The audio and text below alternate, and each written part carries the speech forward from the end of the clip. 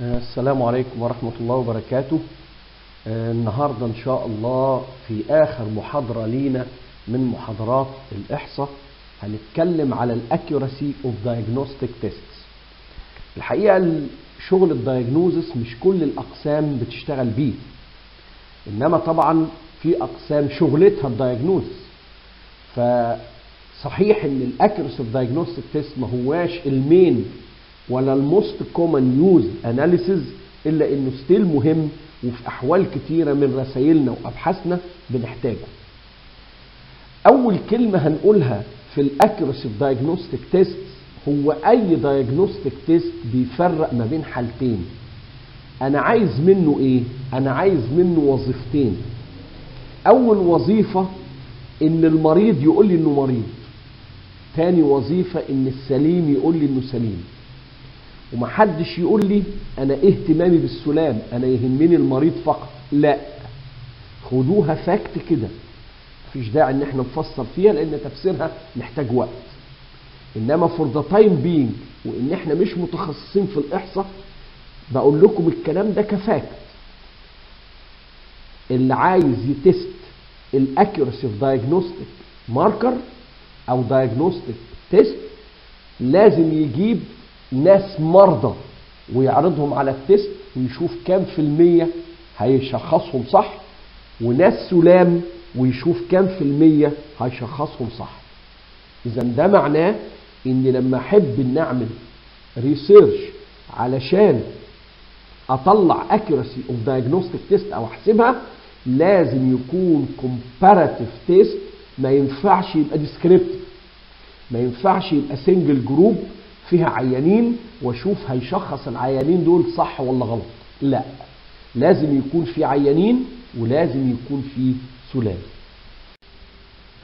according للكونسبت اللي إحنا قلناه يبقى أي حد عايز يعمل ستادي علشان يقيس أو يحسب ال accuracy of diagnostic test لازم يجيب two groups of individuals or participants. ناس diseased وناس normal أو ما فيهمش الحاجة اللي إحنا بندور عليها. يعني ناس فيهم الشيء اللي بندور عليه سواء كان disease complication sign معينة أي حاجة. والناس ما فيهمش الكلام ده. طيب مين اللي قال لك إن ال diseased دول diseased ومين اللي قال لك إن ال non-diseased دول non-diseased for sure another test. Or battery of tests اسمها gold standard ال gold standard ده is one test or a battery of tests. الشرط إنها تكون accurate وواثقين فيها تماما. ممكن تكون دي ال operative findings ممكن تكون ال final destination بتاع العيان بعد ما نبص عليه بعد سنة ولا اتنين.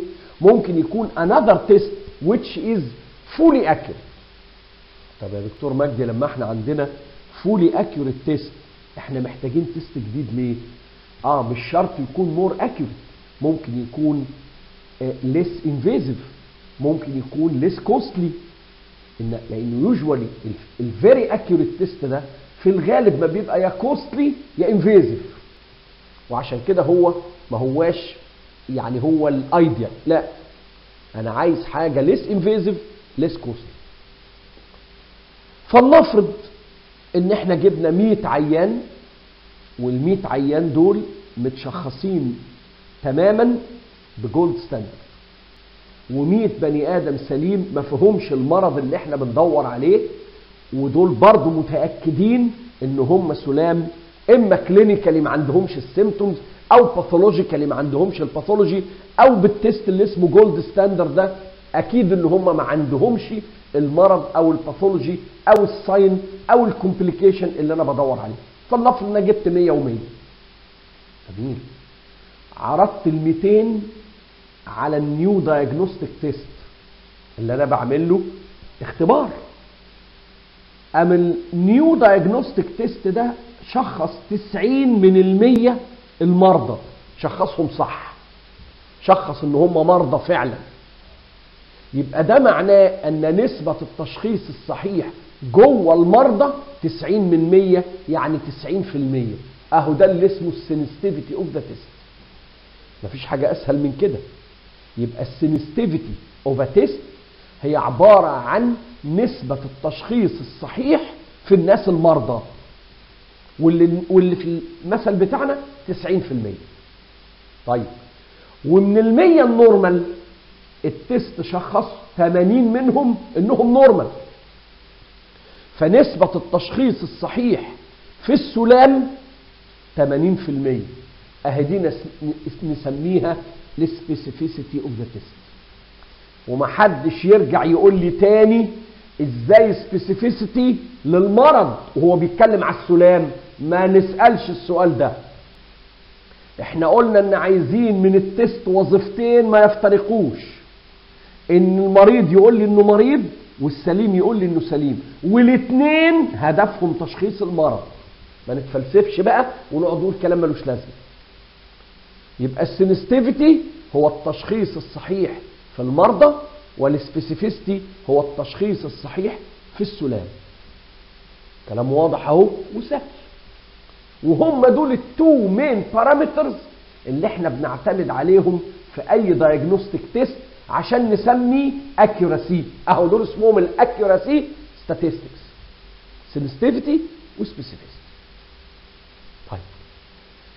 التسعين اللي شخصهم ال test الجديد positive وهم مرضى فعلا اسمهم true positive ولا false positive اسمهم true positive true ليه؟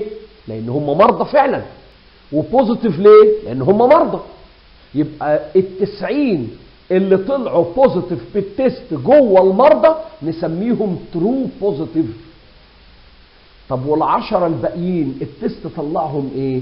أكيد false negative لأنه إذا كان التسعين دول positive يبقى العشرة الباقيين من المية المرضى ال test الجديد طلعهم negative وما دام التسعين دول true يبقى أكيد العشرة الباقيين false مسألة واضحة يعني مش مش محتاجة ذكاء ولا دكتورة.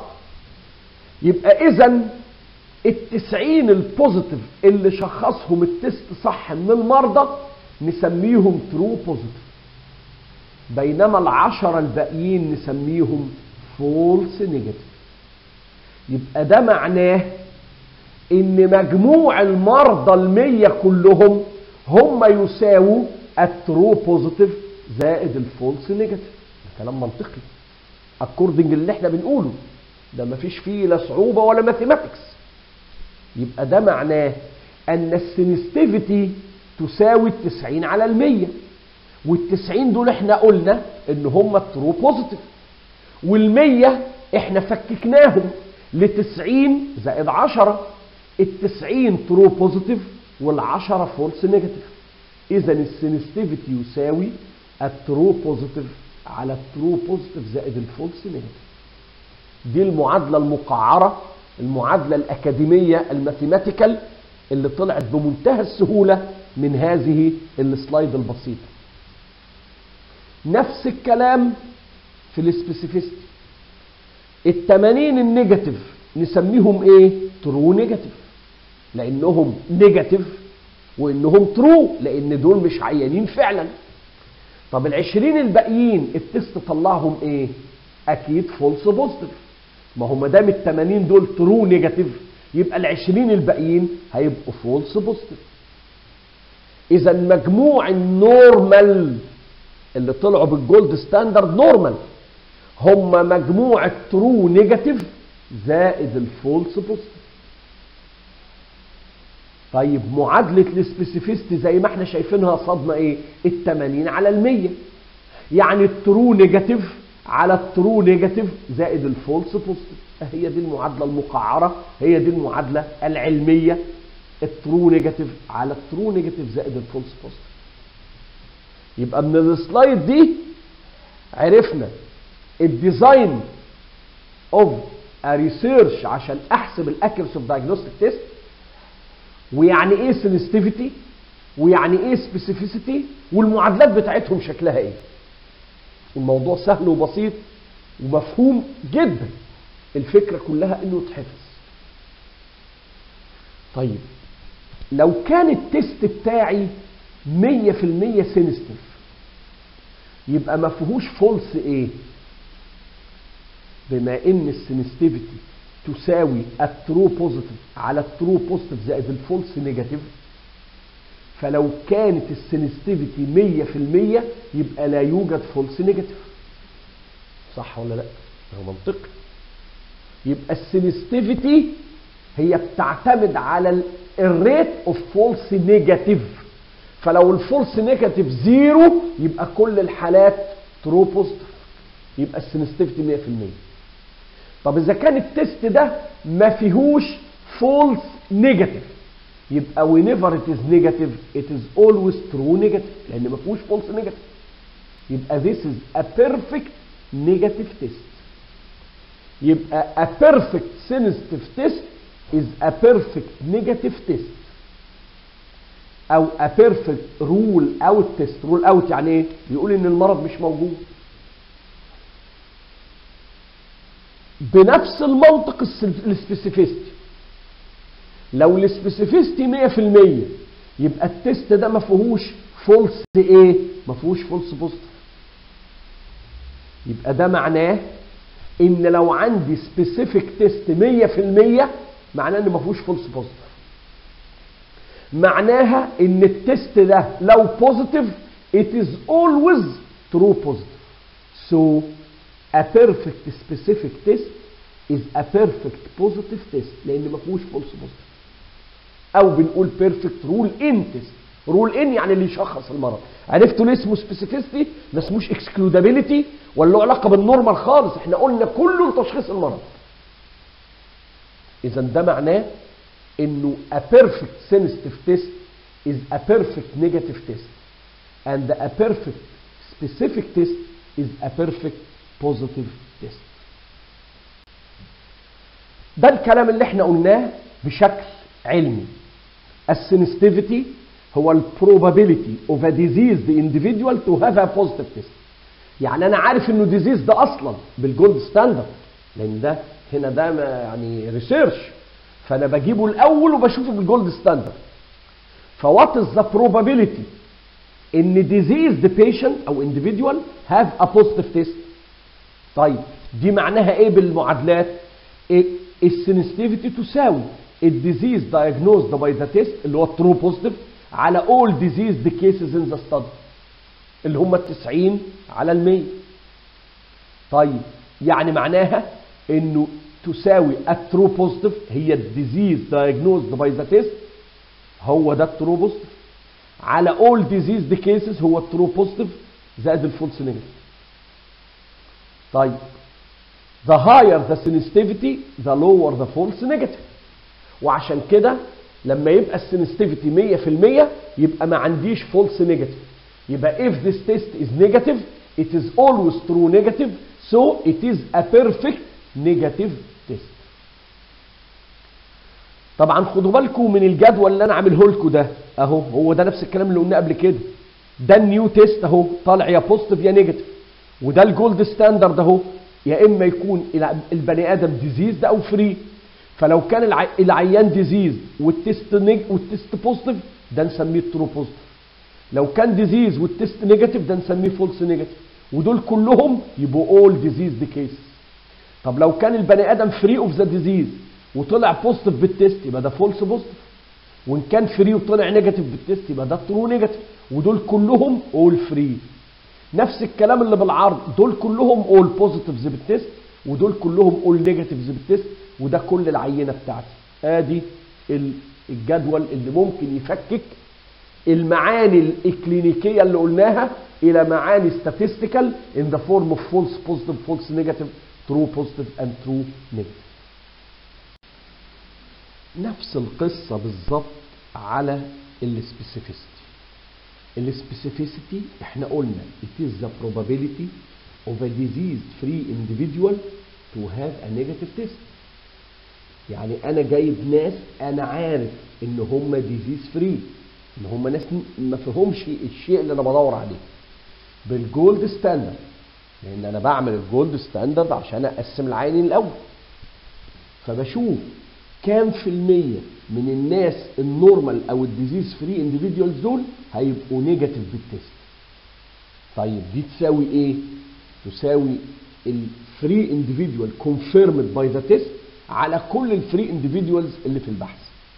يعني ال true negative على ال true negative زائد ال false positive وبرضو زي ما حضراتكم شايفين في ال upper right corner في ال slide باينه القصة دي The higher the specificity, the lower the false positive. The higher the specificity, the lower the false positive. So لو عندي تيست 100% specific ما فيهوش false positive. ده معناه انه if this test is positive it is always true positive يعني ما هواش في اي false positive so it is a perfect positive test يبقى a perfect specific test is a perfect positive test تعالوا ناخد example in an experiment to measure the accuracy of a new screening test the test was positive in 65 out of 70 diseased patients while it was negative in 20 out of 30 disease-free subjects. Calculate the sensitivity and specificity of that screening test. أنا عندي ال total diseased patient 70 ال test جاب منهم positive 65 يبقى نسبة التشخيص الصحيح في ال diseased 65 على 70 يبقى ال sensitivity 65 على 70 من غير ما أفكر يعني 92.9% طيب في عندي 30 بني آدم disease free subjects في عندي disease free subjects 30 بني آدم. ال test جاب منهم صح 20 يبقى نسبة التشخيص الصحيح جوه الناس الطبيعية 20 على 30 يعني ال specificity على طول 20 على 30 تساوي 66.7% الكلام ده ما فيش فيه هزار وما فيش فيه حتى معادلات. اللي ينسى المعادلة يفتكر ال definition. مين على مين؟ يبقى التشخيص الصحيح في المرضى كان 65 من 70 التشخيص الصحيح في السلام 20 من 30 يبقى ال sensitivity 92.9% وال specificity 66.7% كلام سهل جدا وما فيهوش أي مشكلة. وعيب إن إحنا نسأل إحصائي على حاجة زي دي.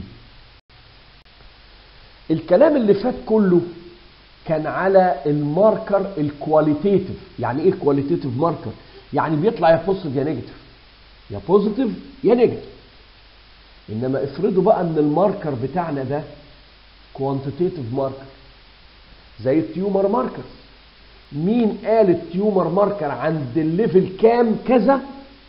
يبقى ده tumor أو نشك في tumor مين اللي قال إن ال blood pressure لما يبقى 140 على 90 ده اسمه hypertension مين اللي قال إن الهيموجلوبين لما يقل عن 11 ده اسمه انيميا مين قال إن الجلوكوز لما يزيد عن 125 مللي جرام per نسمي ده diabetes الله. هنا ال marker اذا quantitative marker يعني حاجة بتتقاس ولها رقم. عايز أعرف بقى عند رقم كام أفضل diagnosis للمرض؟ أهو ده قصة ما تنفعش فيها اللي فات. مش هعرف أطلع ال sensitivity وال specificity من رقم بالشكل اللي إحنا قلناه قبل كده. يا positive يا negative يا positive ما ينفعش. لا هنا ما فيش كلام من ده هنا بنستعمل analysis جديد. اسمه مش جديد هو جديد لا هو قديم بس قصدي جديد علينا إحنا. إحنا أول مرة ندرسه دلوقتي. اسمه receiver operator characteristic analysis اسم غريب شوية بس يعني هنعرفه زي ما هو. يبقى ال receiver operator characteristic analysis أو اللي بنسميه ROC analysis ال ROC analysis ده شغلته إيه؟ شغلته إن هو يطلع لي the best cut off limit أو cut off value of any diagnostic marker which is quantitative marker to discriminate ما بين two conditions. يبقى إمتى نستعمل ال ROC analysis في حالات ال diagnosis لما يكون ال marker عندي quantitative أو ordinal زي ما بنقول هو numerical marker يعني بيطلع على هيئة أرقام وما بيطلعش على هيئة positive و negative هدف ال ROC analysis إيه؟ يطلع لي the best cut off value اللي عندها the best discrimination ما بين ال two conditions اللي أنا عايز أفرق منهم بينهم بال marker إيه النتيجة بتاعت ال ROC analysis نتيجة ال ROC analysis ROC curve curve بيرسم حاجة ال sensitivity على واحد ناقص ال specificity بيرسم ال curve ما بينهم. بيجيب عند كل cut off value عند كل رقم من أرقام اللي طلعت عندي في البحث لل marker ده. لو اعتبرنا إن الرقم ده هو ال cut off هيديني sensitivity قد إيه و specificity قد إيه. ويفضل يرسم يرسم يرسم يرسم curve بالشكل ده لحد ما يطلع لي ال level اللي عنده ال best cut off اللي يطلع أحسن marker. أهو يعلمهولي بالدايرة الصغيرة اللي أنتوا شايفينها في الوسط دي. الدايرة دي الدايرة الصغيرة اللي مرسومة على ال Y axis هي دي ال best cut off limit عند cut off limit اللي في اللي عنده الدايرة دي يبقى هو ده ال best cut off limit وبيحط لي الكلمتين دول في سطرين عشان أعرف إيه هو ال cut off limit بتاعي. يبقى اذا ال ROC curve أو ال ROC analysis in the simplest form يطلع curve وجملة. ال curve عبارة عن إيه؟ عبارة عن عند كل value من ال values بتاعت ال marker ده اللي طلعت عندي في البحث ال sensitivity لو اعتبرنا إن ال value دي هي ال cut off بتاعي. اللي أقل منها هيبقى disease اللي أعلى منها هيبقى free أو العكس حسب ما هو ال marker كل ما بيقل يبقى disease ولا كل ما بيزيد يبقى disease ويبدأ يحسب ال sensitivity وال specificity according لل cut off limit ده. ويعمل لي curve يوريني ال sensitivity وال specificity بتاع كل cut off limit وبعد كده هو يختار لي النقطة اللي عندها ال highest sensitivity و specificity مع بعض. ده ده ال simplest form في software أعقد شوية بيطلع لي جدول. الجدول ده هو اللي اترسم منه ال curve.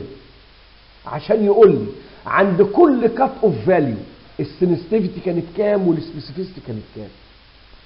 ده cut off limit بتاع الهيموجلوبين to diagnose anemia إحنا جبنا شوية عيال من المدارس شوية عيال فيهم انيميا مشخصينها بطرق تانية ب gold standard مش بالهيموجلوبين.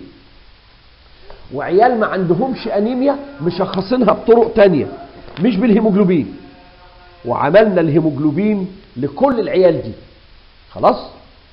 الهيموجلوبين لكل عيل رقم. مفيش عندي positive و negative أرقام. وبدأنا نقول طيب لو إحنا اعتبرنا أقل رقم موجود أقل رقم كان كام؟ كان هيموجلوبين ستة. أهو ستة قصادك أهو في أول سطر في الجدول. لو اعتبرنا إن ده اللي بيفرق ما بين الأنيميا وال no anemia. كام عيل anemic هيتشخصوا صح؟ وكام عيل هيتشخص غلط؟ وكام عيل normal هيتشخص صح؟ وكام عيل هيتشخص غلط؟ خلاص كده قلبناه qualitative بقى. العيال ال anemic إن اتشخصوا صح هيبقى اسمه true positive وإذا اتشخصوا غلط هيبقى ده false negative والعيال الطبيعية لو اتشخصوا صح ده يبقى ال true negative ولو اتشخصوا غلط يبقى ده ال false positive وأروح عامل الحسبة بتاعتي واطلع ال sensitivity وال specificity لقينا الآتي عند هيموجلوبين 6 لو اعتبرنا إن 6 هيموجلوبين أو أقل ده اسمه انيميا أكتر من 6 ده اسمه normal لقينا إن ال sensitivity صفر. ولا عيل من عيال الأنيميا اتشخصوا صح. ليه؟ لأن ده أقل رقم عندي. لو اعتبرت إن الرقم ده هو رقم أول رقم في الطبيعي يبقوا كل العيال عندي الأرقام بتاعتهم أعلى من ستة. يعني ستة وأنت وأنت طالع. يبقى ده معناه إن كل العيال ال anemic هيتشخصوا عند ستة إنهم normal. وده كله false إيه؟ negative بينما كل العيال ال normal هم أكتر من ستة. فكلهم هيتشخصوا إيه؟ true negative اذا هلاقي ال sensitivity صفر وهلاقي ال specificity 100% سنستيفيتي صفر ما تنفعش. طب ناخد سبعة. عند سبعة هيموجلوبين. شوية العيال اللي ما بين ستة وسبعة هيتشخصوا صح. لأن أنا قلت إن لو كن لو كان الهيموجلوبين أزيد سبعة وأنت طالع يبقى العيل ده normal أقل من سبعة يبقى العيل ده anemic العيال اللي ما بين السبعة والستة هيتشخصوا صح لأن دول هيبقوا أقل من سبعة فهيتشخصوا إنهم anemic بينما كل العيال اللي سبعة وأنت طالع هيتشخصوا غلط. فلقينا إن ال sensitivity 10% هم 10% من العيال ال anemic فقط هم اللي كانوا ما بين 6 و7 ال severe anemic هم دول اللي اتشخصوا صح.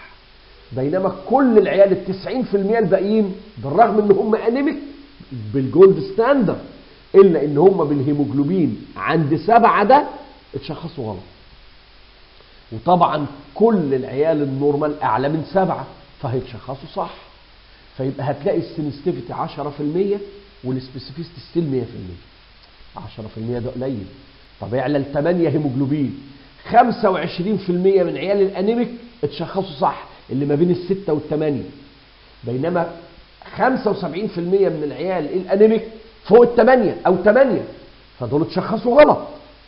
يبقى هنلاقي إن ال sensitivity بقت 25% بينما برضه ال specificity زي ما هي.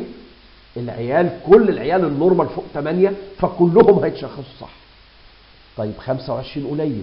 انزل خليها 9 هيطلع 35 sensitivity قصاد 100% 35 قليل خليها 10 50% sensitivity و100% specificity طب خليها 11 80% sensitivity و100% specificity طب خليها 12 لأنها وصلت 100% sensitivity و still 100% specificity ليه؟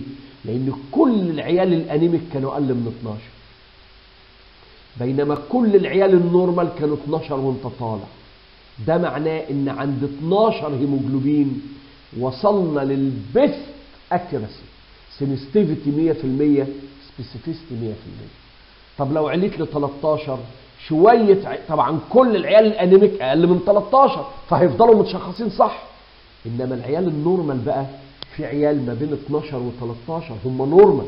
بس بال 13 ده لو أنا خدت ال 13 ك cut off limit للأنيميا هشخصهم إنهم anemic.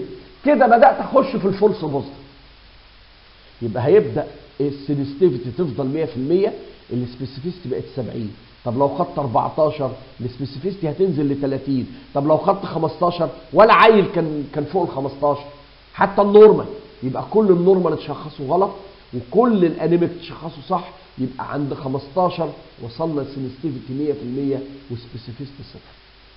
يبقى ال range بتاعي اللي أنا خدته في البحث اللي طلع عندي في البحث ابتدى من sensitivity صفر و specificity 100% وانتهى عند sensitivity 100% و specificity صفر. كده ال full range خلاص. ال best اهو ده.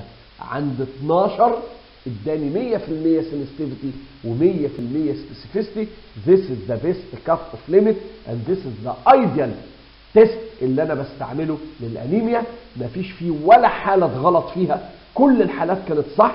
وده معناه إن ال best cut off limit to diagnose ال type of anemia اللي أنا بشخصه ده هو 12 هيموجلوبين أتمنى إنها تكون واضحة وأعتقد إنها مسألة ما هياش صعبة.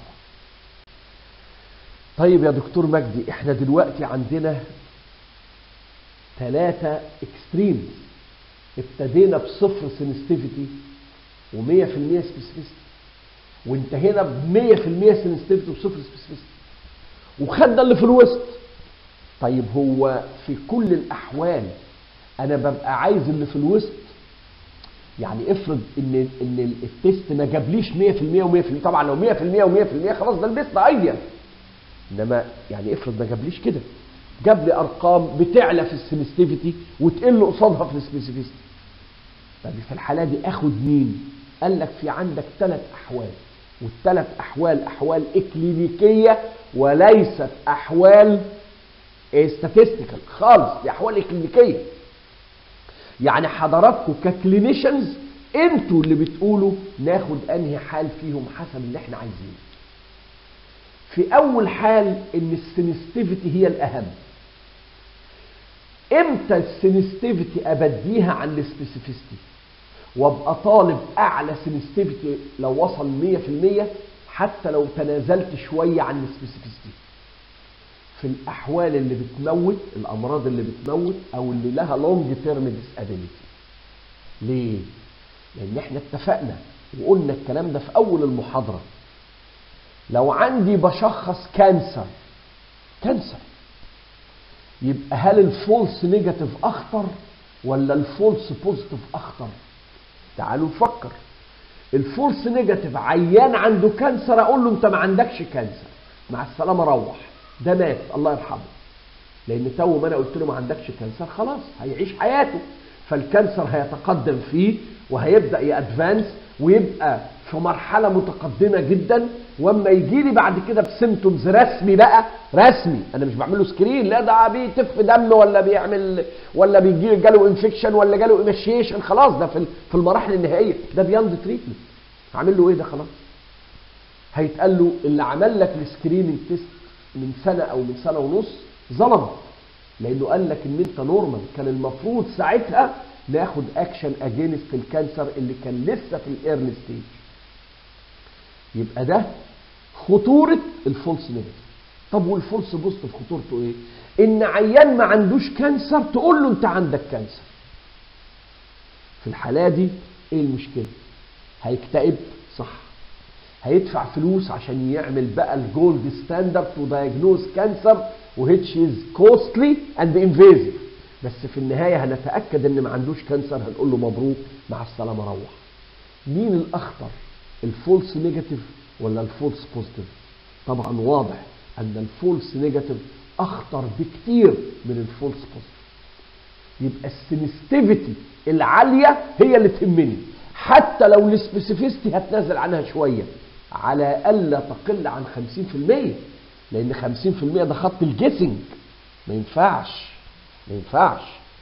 طيب يبقى إذا لو كان المرض اللي بشخصه أو الحالة الإكلينيكية اللي بشخصها حالة خطيرة فيها موت فيها mortality أو فيها long term disability يعني العيان ده خلاص الدنيا اتنيلت عنده يبقى ببدي ال sensitivity على ال specificity ما باخدش ال balance. no no. أنا عايز أعلى sensitivity ممكنة والأعلى هي في المية. حتى لو كان ال specificity قليلة شوية إنما على الا تقل عن 50% طيب في أحوال إكلينيكية أخرى أنا ال false positive عندي هو الأخطر من ال false negative. زي إيه؟ لو عندك vaccine لمرض infective عايز تنزله في المدارس وعايز ت vaccinate العيال. ال vaccine غالي ومليان side effects فأنت بتقول لأ. أنا هعمل للعيال الأول screening for immunity لو العيل immune مش هديله ال vaccine إنه خلاص هو immune من المرض. انتهينا. ولو العيل not immune هديله ال vaccine قمت ال test اللي انت بتختاره ده بقى. انت عايزه ما فيهوش false positive ولا ما فيهوش false negative تعال نشوف. ال false negative يعني إيه؟ يعني العيل immune وانت قلت له ان انت مش immune فهتديله ال vaccine طيب إيه بقى ال burden عليه؟ side effects مش هيموت يعني ولا هيجرى له حاجة. side effects شوية حرارة شوية تكسير في جسمه شوية أعراض خفيفة للمرض ممكن يقعد يومين في البيت ولا ثلاثة وانتهى وياخد ال immunity وال cost وده برضه مش مشكلة كبيرة. إنما ال false positive ده مصيبة. false positive معناها إن عيل not immune تقول له أنت immune تقول له انت مش محتاج ال vaccine يا حبيبي مع السلامة روح. هيروح. وهو وهو not immune exposed لل infection الخطير وهو نفسه هيبقى source of infection يوزع ال infection على الناس. مين الاخطر ال false negative ولا ال false positive هنا ال false positive أخطر بكتير. يبقى أنا عايز screening test يكون ما فيهوش false positive يعني يكون ال specificity بتاعته عالية جدا حتى لو هتنازل شوية عن ال sensitivity على الا تقل ال sensitivity عن 50% يبقى هناك situations أنا عايز فيها ال sens أنا دي يعني ال clinician أنا يعني ال clinician. ماليش دعوة الإحصاء طلعت إيه أنا بقرأ ال table أنا ماليش دعوة باللي الإحصاء اختارته لي no no. لأن الإحصاء اللي تختاره هو الحالة الثالثة اللي هنتكلم عليها دلوقتي.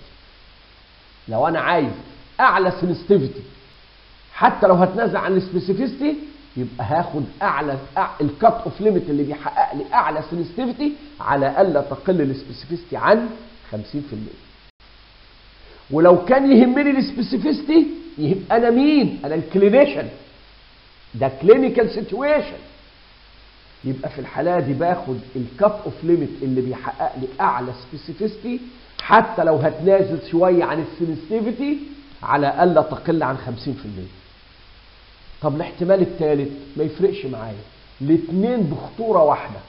ال false positive زي ال false negative وده بقى كل الأمراض اللي ما فيهمش الحالتين اللي بقول لكم عليه مرض عادي يعني. يعني تشخيصه. الخطأ في تشخيصه بنفس خطورة إن أنا أقول إن العيان ده عنده مرض وهو مش عنده. نفس الخطورة يعني مش هتفرق كتير. في الحالة دي باخد أعلى balance أهو ال balance ده هو اللي بيطلعه لي curve الاحصاء طبعا ده في بعض البرامج وبعض البرامج ما بتطلعش. بيطلع لك ال table ويقول لك أنت نقي يبقى اذا مين اللي بيحدد هل ال overall accuracy اللي هو ال balance هو الأهم ولا ال sensitivity هي الأهم ولا ال specificity هي الأهم؟ هو ال clinician وليس الاحصائي وعشان كده لازم إحنا ك clinicians وك researchers نعرف ال concept ده. مش الاحصائي اللي ينقي لي ال cut off limit غلط. الاحصائي بيطلع لي كل cut off value بيطلع قصادها sensitivity قد إيه و specificity قد إيه. في جدول قد يكون طويل جدا حسب كمية ال values اللي طلعت عندك في البحث. حسب عدد العيانين وحسب ال variation في ال values اللي طلعت عندك. وحضرتك اللي بتنقي انت اللي تقول انت عايز انهي cut off limit اللي يحقق sensitivity قد إيه و specificity قد إيه.